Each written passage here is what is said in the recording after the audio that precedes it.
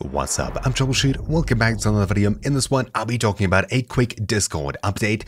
If you didn't know by now, Discord have had a brand new update where, if you head across to Discord and start sharing your screen, you'll see a brand new option under the Screens tab over here when we choose a screen to share.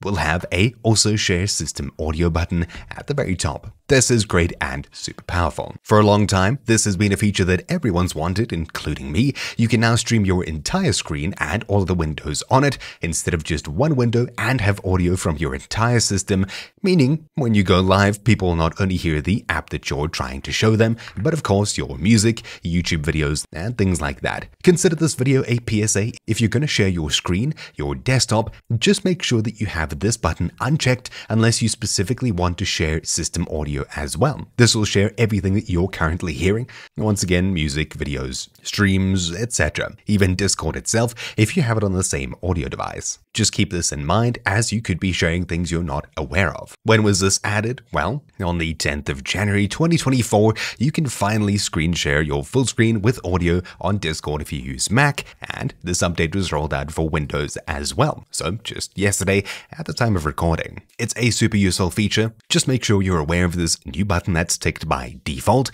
if you want to share your screen. Anyways, that's it, thank you for watching, my name's been TroubleChute, hopefully you found this video useful, and I'll see you all next time. Ciao!